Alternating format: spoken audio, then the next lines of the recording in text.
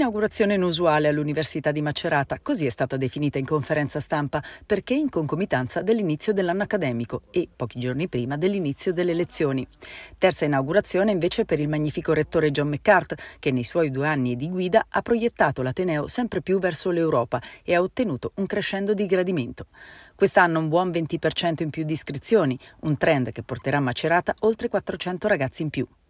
È un'inaugurazione inusuale nel senso che iniziamo l'anno accademico con l'inaugurazione, così come dovrebbe essere. Le lezioni partono quattro giorni dopo, per cui è secondo me il momento giusto per lanciare l'Università di eh, Macerata per l'anno accademico 24-25. Con questa inaugurazione intitolato Il valore della nostra università europea e qui vogliamo sottolineare che lavoriamo in un contesto europeo, che siamo attivissimi al centro di un di questa alleanza European Reform University Alliance di otto università con cui stiamo costruendo dei percorsi eh, di didattica, di ricerca e non solo eh, a beneficio di tutta la comunità nostra ma soprattutto a beneficio delle nostre studentesse e dei nostri studenti e questo volevamo sottolineare. Abbiamo, avremo presente i rettori delle università europee che partecipano nella nostra alleanza, avremo presenti i rettori delle, univers delle università università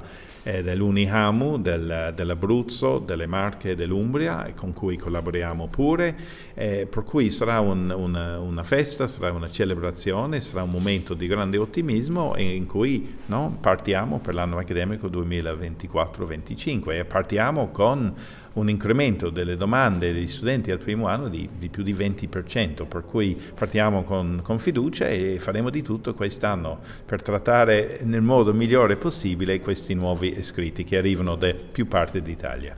All'inaugurazione, come di consueto, arriveranno personalità di spicco e ospiti illustri. Avremo presente la dottoressa Hilige Van Land, che è Secretary General dell'International Association of Universities, che raccoglie più di 800 università in tutto il mondo e ha il polso, se vogliamo, della situazione mondiale delle università. E sarà lei a tenere la prolusione all'interno dell'inaugurazione per parlare anche delle opportunità